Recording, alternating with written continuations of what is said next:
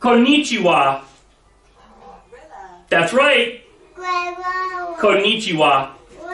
Welcome back to High Point, guys.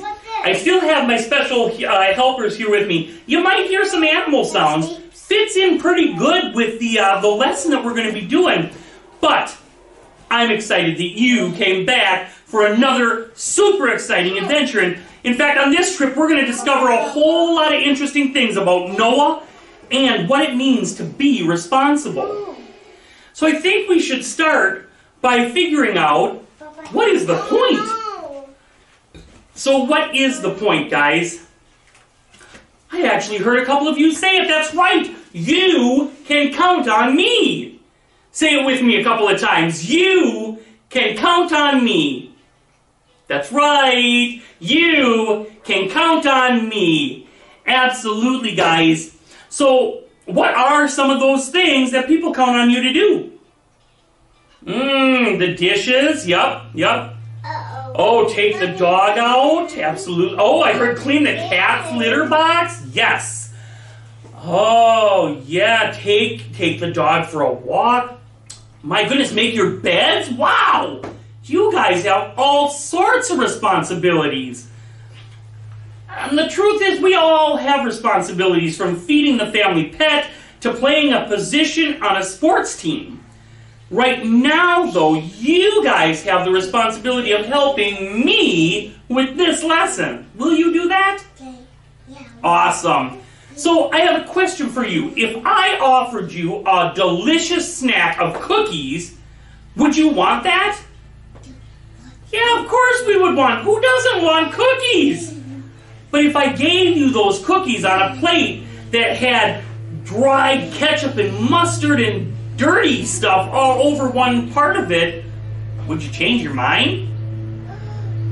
Yeah, probably. Because gross. Yuck. And why would we change our mind? Because the plate is half dirty. That's disgusting. I think that whoever would have washed that plate didn't do a very good job and they weren't very responsible. A responsible person would wash the whole plate, not just part of it. And when we are truly responsible, we don't do things halfway. We give it our very best. We give our best because God is the one who we are really responsible to, not people. When we do our best, we win, and so does everybody else. And in today's Bible story, we will discover how Noah did his very best. So let's listen to find out how Noah did his very best for God. Okay? Now, last time we learned that God was going to send a flood. And who remembers why God was sending a flood? Yeah, yeah, he was sending it because people were being evil. There was so much evil in the world. And who did God choose to save from that flood? That's right, Noah and his family. And why did God choose to save Noah and his family? Yeah, no, that has nothing to do with Blippi. Guys, he chose to save Noah and his family because Noah and his family were good and loved God. What did uh, God tell Noah to build, though? no! Did not tell him to build a church.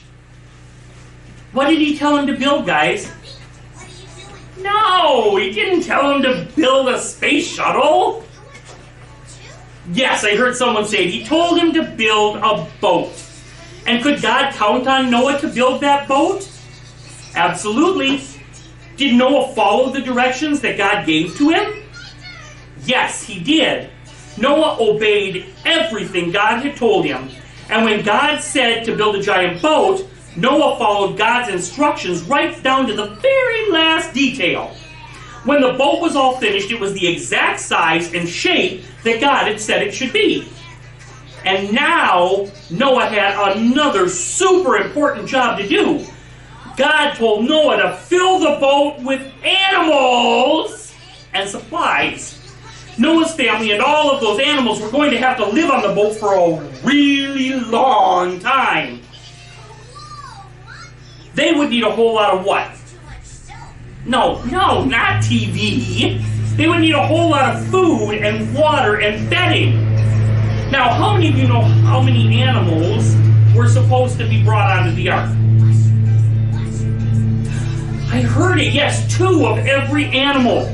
God told Noah to bring in two of every animal, but did you know that there were seven pairs of two of some certain kinds of animals?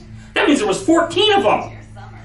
Those seven animals that were in pairs were the kinds of animals that farmers needed. Sheep and cows and goats. And there were also seven pairs of every kind of bird. There are a lot of birds, guys. That is a whole lot of birds that were going to be on this boat. Now, I need you to remember that because it's going to be important later on in the Bible story. But, guys, getting back to what we're talking about, it was really important that Noah did his very best. He had to put just the right number of all of the different animals on the ark. Now, we're going to think of some of the animals that Noah would have brought onto the ark. One at a time, I'll act out a couple of animals, and maybe you can guess who that, what they are, okay? What do you think? Let's try it. Yeah, yeah, an elephant. That one was pretty easy, right? What about what about um? Yes, a chicken. Uh, what about? That's right, monkeys. Guys, you are doing so fantastic. You guys are super good at guessing your animals, and I guess Noah probably knew his animals pretty well too because he spent a lot of time putting them all on the ark. But Noah not only had to move all of the animals onto the ark, guys, he had to load all the food and water that they would need when the flood came. This was a really important part of the job that Noah was responsible for. See, it's we think of him with just bringing all of those animals into the ark, but he had to have enough food and bedding for every single animal and enough food and bedding and clothes for his family. He was really responsible for a lot of big stuff. What do you think would have happened if Noah had not given his very best?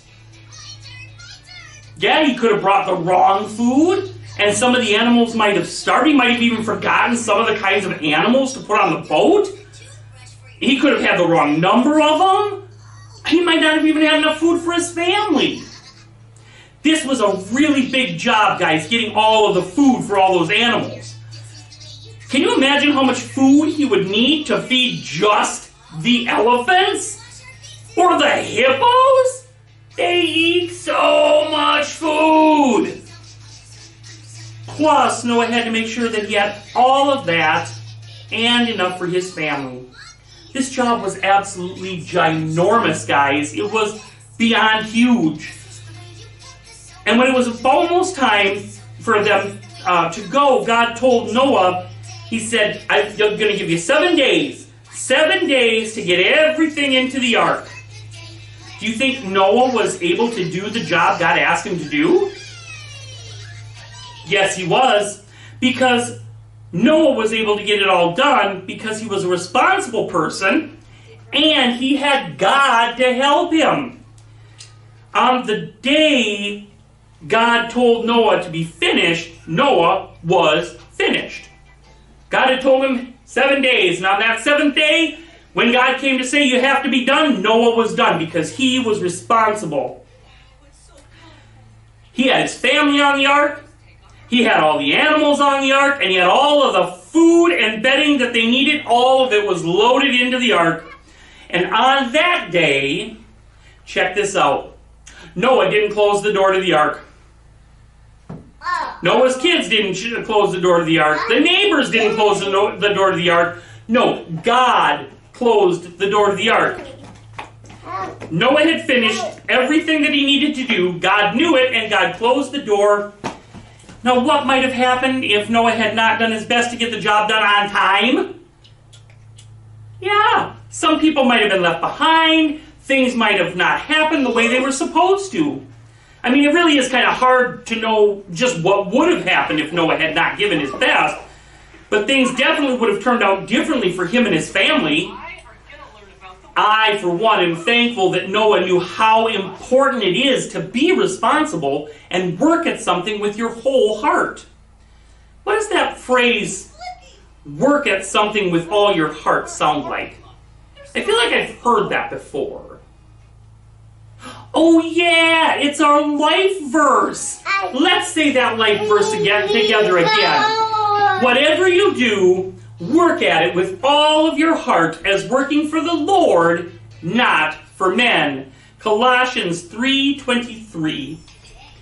When we always do our best work, guys, we are telling every single person they can count on us that we are responsible.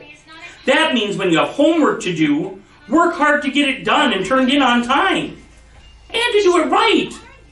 Or when your mom asks you to take out the trash, do it without grumbling and complaining and do it right away. Doing our best is not always easy.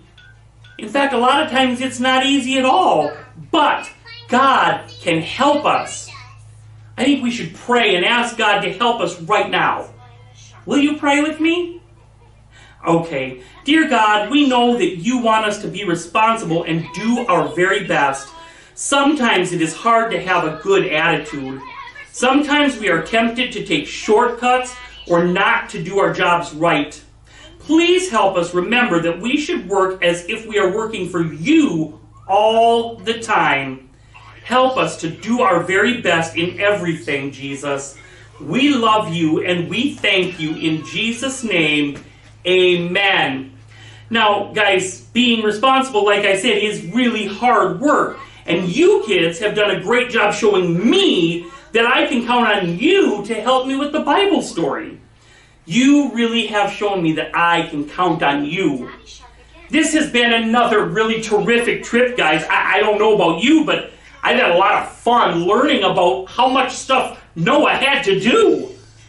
But now it's time for us all to head back home and I want you to remember to be responsible for everything that you have to do. Try to remember the life verse as you do your homework, your chores, or any other of the responsibilities you might have.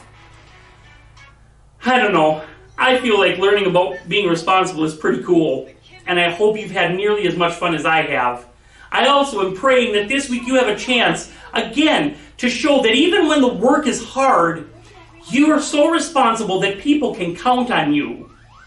And I'm also praying that no matter what happens, that you will never, ever, ever forget that you are loved so very much by God and by us.